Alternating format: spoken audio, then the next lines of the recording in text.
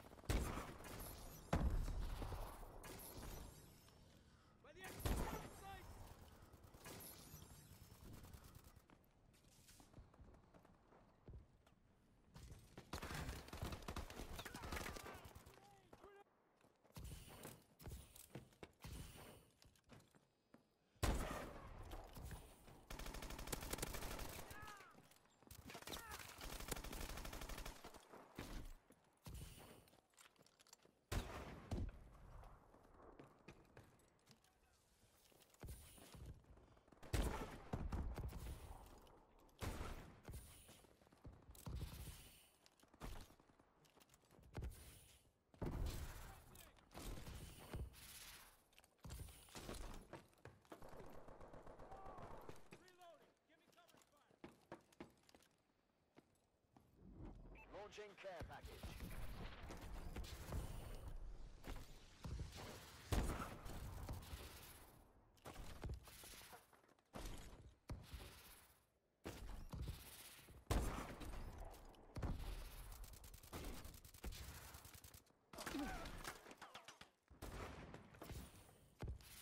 Friendly missile strikes inbound.